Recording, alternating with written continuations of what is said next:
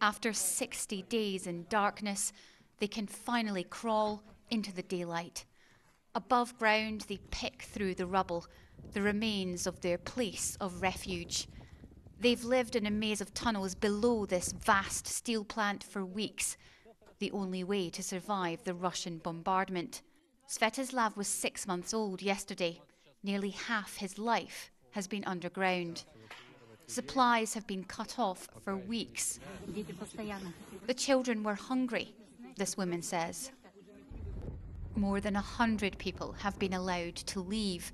Their horror is over for now. I can't believe it. Two months of darkness. When we were in the bus, I told my husband we won't have to go to the toilet with a torch and use a bag as a loo. The Azovstal steel plant is one of the biggest in the world.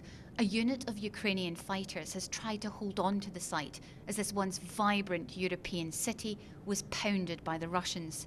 Civilians took shelter underground alongside them, but the bombing was relentless.